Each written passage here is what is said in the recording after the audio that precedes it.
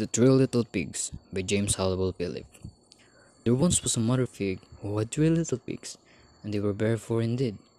One day, the mother pig sent the three little pigs out into the big wide world to seek their fortunes. The first little pig met a man carrying a big bundle of straw. Please, may I have that big bundle of straw to build myself a house? asked the pig. The man was tired of carrying the bundle of straw, so he gladly gave it to the first little pig. The first little pig built a house out of straw, and he lived there very happily. But along came a big bad wolf. Little pig, little pig, let me come in, shouted the wolf. No, no, not by the hair on my chinny chinny chin. I'll not let you in, squeaked the first little pig. Then I'll, then I'll huff and I'll puff and I'll blow your house down, yelled the wolf. And he did. He hopped and he fupped and he blew the straw house down. The first little pig ran away as fast as his trotters would carry him. Now, the second little pig met a man carrying a big bundle of sticks. Please, may I have that bundle of sticks to build myself a house? asked the pig. The man was tired of carrying the bundle of sticks, so he gladly gave it to the second little pig. The second little pig built a house out of sticks and he lived there very happily. But along came the big bad wolf. Little pig, little pig, let me come in, shouted the wolf.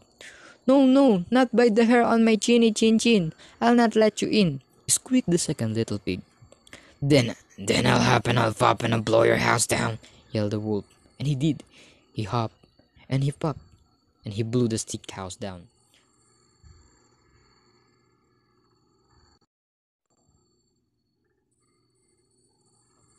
and he blew the stick house down. The second little pig ran away as fast as his trotters could carry him. Now, the third little pig met a man carrying a heavy load of bricks. Please, may I have that load of bricks to build myself a house? asked the pig. The man was very tired of carrying the heavy load of bricks, so he gladly gave it to the third little pig. The third little pig built a house out of bricks, and he lived very happily but along came the big bad wolf. Little pig, little pig, let me come in, shouted the wolf. No, no, not by the hair on my chinny chinny chin. I'll not let you in, squeaked the third little pig. Then I'll hop and I'll pop and I'll blow your house down, yelled the wolf. And he tried and he tried. He hopped and he popped. He hopped and he popped. But he couldn't blow the pig's brick house down. Little pig, little pig, I'm coming down your chimney right now to get you, below the big bad wolf. Please yourself, called the third little pig.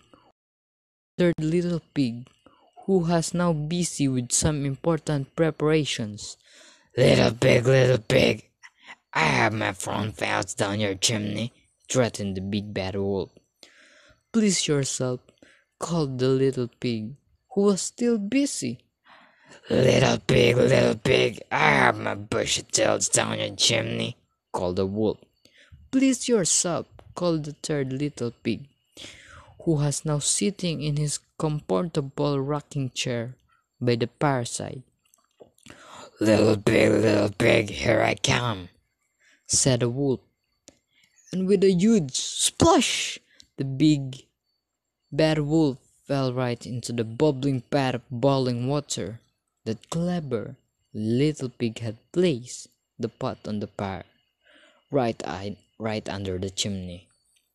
The wolf splish and splash and scrambled out of the big pot.